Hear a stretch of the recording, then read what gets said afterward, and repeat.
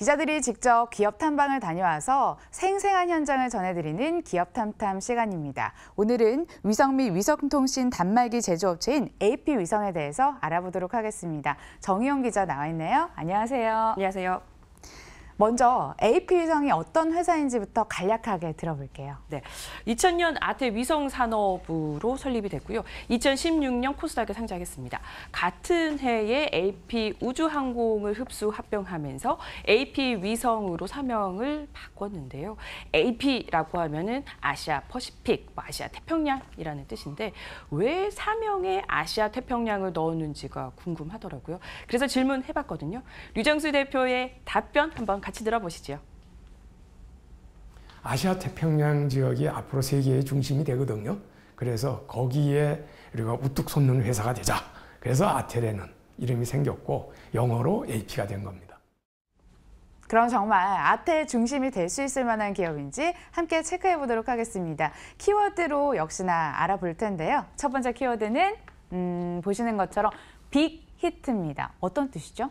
어, 사진 한 장 같이 보면서 이야기 나눠볼까요? 네. 어, 아, 예. 이게 그 투라야 뭘까요? XT 시리즈입니다. 어, 이게 전 세계에서 위성 휴대 폰 가운데서는 가장 많이 팔린 시리즈인데요. 아, 네. 뭐 통화 음질뿐만이 아니라 뭐 최장 통화 시간 등 어, 뛰어난 성능을 바탕으로 2015년 첫 제품이 출시된 이후에 전 세계에서 20만 대 가량 팔렸습니다. 이 AP 위성이 가지고 있는 이 휴대폰, 위성 휴대폰의 개발 기술력에 대해서 이야기하고자 이 첫 번째 키워드 빅히트를 정했는데요. 어, 뭐 자세한 내용을 이야기하기 전에 많은 분들이 위성 휴대폰 은 도대체 뭐야 라고 생각하시는 분들도 있을 것 같습니다. 그래서 우리가 흔히 쓰고 있는 이 지상 휴대폰과 비교해서 위성 휴대폰은 좀 어떻게 다른 건지 류정수 대표의 설명 한번 들어보시죠. 통신용으로는 똑같은데 이 스마트폰은 지구상에서 되게 멀어야 10km 내에 중계소가 있어요. 저희가 그냥 통신하는 것 같아도 그걸 통해서 통해서 가는 겁니다. 그러나 위성 휴대폰은 그게 필요가 없어요.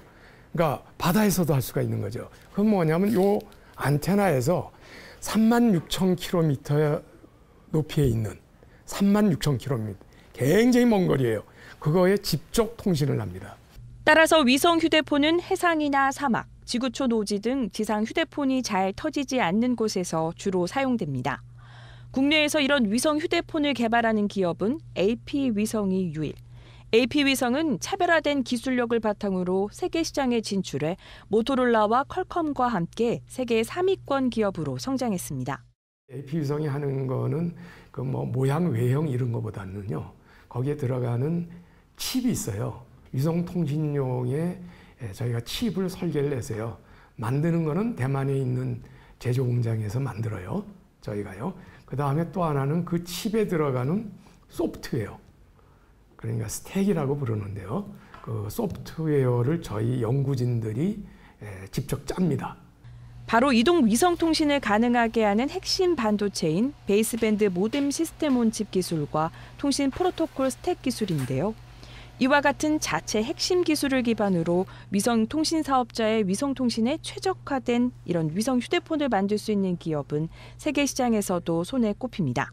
현재 AP 위성은 세계 3위 위성 통신 사업자인 아랍에밀레이트의 투라야에 위성 휴대폰을 단독 납품하고 있습니다. 투라야의 이 3호 위성을 이용하는 위성 휴대폰을 공급하고 있는 건데요. 회사는 곧 투라야가 쏘아 올릴 4호 위성의 휴대폰 납품도 가능할 것으로 기대하고 있습니다. 오지에서 사용된다는 위성 휴대폰, 세계적인 기업과 어깨를 나란히 하고 있었습니다. 기술력 확인해봤고요. 두 번째 키워드도 열어볼게요.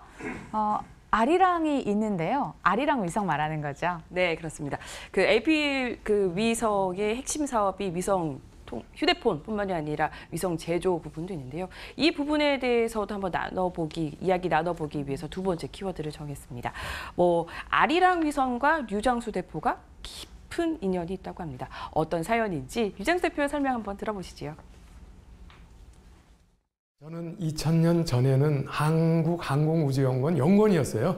그러니까 지금 어, 가장 많이 지금 개발하고 있는 아리랑 위성 시리즈 그 아리랑 1호의 연구 책임자였습니다. 그 일을 하다가 제가 2000년에 어, 이 산업체에서도 필요하겠구나 해서 설립한 회사가 바로 이 AP 위성의 전신입니다. 아리랑 1호부터 차례로 2호, 3호, 5호, 3A호가 발사됐고요. 앞으로 6호, 7호 위성도 2021년 발사될 예정입니다.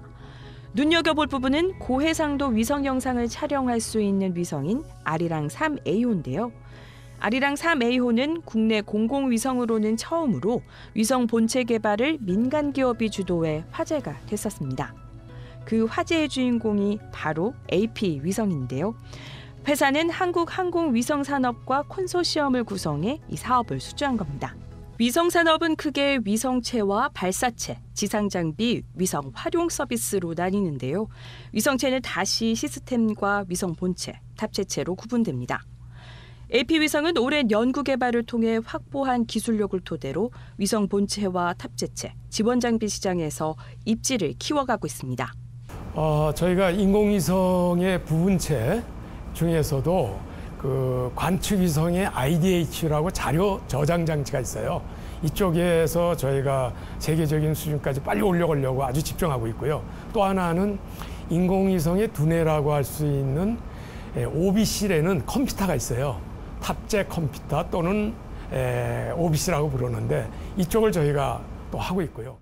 IDHU는 인공위성이 임무를 수행하면서 얻게 되는 데이터를 압축, 저장, 암호화해 지상으로 송신하는 기술을 말합니다.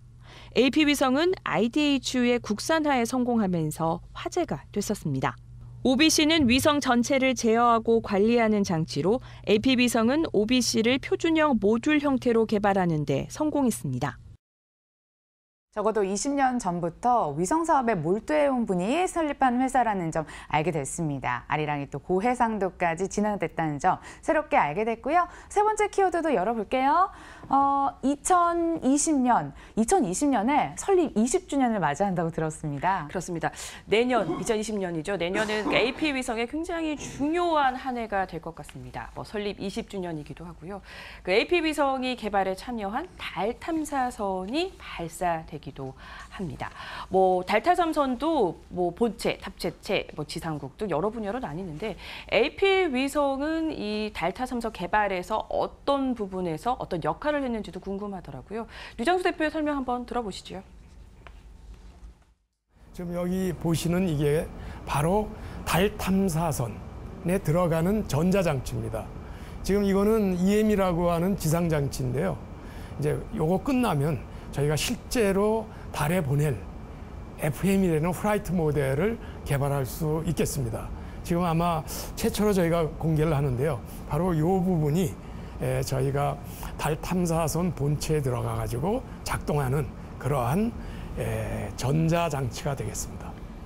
회사는 지난 2017년 시험용 달 궤도선의 본체 전장품의 설계와 제작 수주에 성공했습니다. 시험용 달 궤도선의 개발이 성공적으로 끝나면 위성 본체에 대한 AP 위성의 기술력이 세계 시장에서 인정받을 것으로 기대됩니다. 여기에 더해 위성 제조 분야에서는 100kg 이하의 소형 위성 개발이 주목받고 있는데요. AP 위성은 2017년 한국항공우주연구원으로부터 한국형 발사체 검증용 소형 위성체 개발 사업을 수주했습니다. 위성의 본체와 탑재체뿐만 아니라 위성 운용을 위한 지상국 개발과 운영까지 모두 AP 위성이 맞는데요. 우리나라에서 최초로 민간 주도로 위성체 개발이 진행된다는 점에서 관심이 뜨겁습니다. 또 AP 위성의 위성 통신 사업은 4차 산업혁명 시대에 큰 폭으로 성장할 것으로 기대되고 있습니다. 4차 산업혁명 시대에 곧 돌입을 지금 저희가 하게 되거든요. 이때 가장 중요한 게 위성의 역할입니다. 왜 그러냐면 4차 산업혁명의 핵심적인 게 우리가 초지능, AI라고 보통 이야기하죠. 또 하나가 초연결사회예요. 그러니까 많은 인간만이 연결하는 게 아니라 사물 간의 사물 연결, IoT, 또 M2M 이런 쪽에서 위성통신의 역할은 정말 기대되고 있습니다. 따라서 회사는 위성통신 기술을 4차 산업혁명의 핵심 기술에 접목하는 시도를 하고 있는데요. 대표적인 예로 M2M 사업을 들 수 있습니다. M2M은 자율주행 차량과 사물 인터넷에서 기기 간 자동으로 데이터 전송을 가능하게 만드는 기술입니다. 5G의 상용화가 되면서 위성 기반의 M2M을 활용해 사물 인터넷 등을 지상에서 해양과 항공으로 확장할 수 있을 것으로 기대되고 있습니다. 회사는 이와 관련해 지난해 재난 대응에 효율적인 5G 이동 위성 통신 시스템 온칩 개발 사업자에 선정돼 본격적인 개발에 나섰습니다. 5G 이동 위성 통신 서비스는 재난 모니터링뿐만 아니라 군사 목적 통신 수단으로 활용할 수 있어 스마트팜과 스마트 물류, 스마트 시티 등 다양한 분야에서 적용이 가능해 성장성이 큽니다.